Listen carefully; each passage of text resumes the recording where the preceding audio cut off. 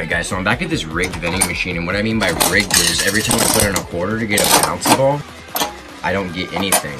So I'm gonna show you guys how to get your bouncy balls every time, and no cut guys, I guarantee you, watch. You wanna do this five times, two, almost all the way in every time, but not quite, three, four, and on this fifth one, really get in there guys. See, I can even let go of it, and see the quarter? See how it's still in there? Now twist it all the way, you hear it fall in, just like that twist all the way, and guys, you should have bouncy balls. Let's hope. Boom.